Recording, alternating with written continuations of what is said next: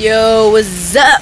Hello, guys from YouTube. My name is Witchy Neptune, but you can call me Abe. Today, in this video, I'm here to talk to you about something that is very interesting, guys. So yeah, let's walk around my house right quick.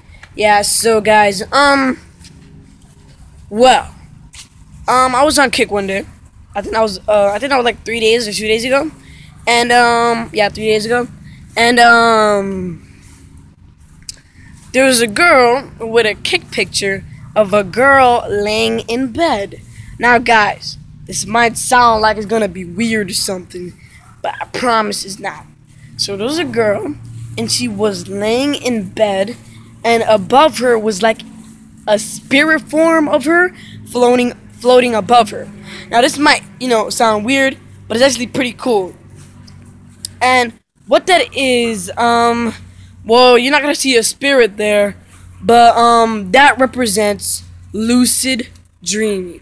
Now, for some of you viewers does not know what lucid dreaming is, um, lucid dreaming is when you are aware that you're in a dream and you can control it, literally. So I know for some of you viewers, you might be like, "Oh, I've been in a dream that I knew I was in a dream." Because I saw like a purple dinosaur, or I saw a purple dinosaur doing a nay or something like that, I'm talking about when you know you're in a dream, just knowing, not by seeing a dinosaur doing a name or something, just by knowing as soon as you get in that dream. So while you're in that dream, you can control everything that is in that dream. If you want to fly, go ahead and jump in the sky and fly. If you want to, you can do it, guys. Now, if you want to, um, let's say you want to breathe underwater, you can go right ahead and breathe under the water, guys. Trust me. It will work, guys. And um I try to lose like to lucid dream, you need to lay down on your back facing forward and your legs and arms apart. Kinda like this kinda like you're laying down like this. There's your leg and there's like you're laying down like that, right? And um you're supposed to close you're, you're supposed to relax. Don't move what you have to do is you have to close your eyes. You have to close your eyes without sleeping, literally. So, just literally do this, right? Literally do this. But not sleeping. Yeah, you have to close your eyes without sleeping. So, you'll be totally relaxed, okay? Now, some signs will tell your body to, like, you're gonna feel something that tell your body to go to sleep. So some of these are getting an itch, um, trying to change positions and stuff like that. And yeah, but when you have an itch or try to, or you're sleepy or you're trying to blink a lot or something like that, don't do it. Ignore all the signs because what it's gonna try to do, it's gonna try to make you sleep. So yeah. So after you do that, you're gonna pop up in a dream. Everyone has a different, you know, like a different setting for a dream. So you're gonna pop up in a dream, and literally you're gonna know that you're in a dream. You're gonna be like, oh wait, I'm in a lucid dream. So you will know that you're in a dream, and literally everything you think about would happen.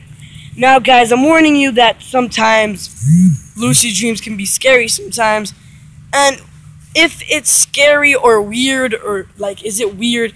It's just telling. It's just um. It's just teaching you a lesson, literally. So, but most of the time, it's cool. But just to let you know, if you dream about you being a monster or something, that will happen literally. So don't don't so when you're in that dream, don't be thinking about, you know, monsters and crap like that cuz that will happen.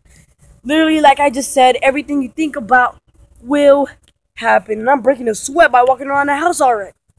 So yeah just want to talk to you about that. And I tried it um last night, but it did not work because I kept on moving.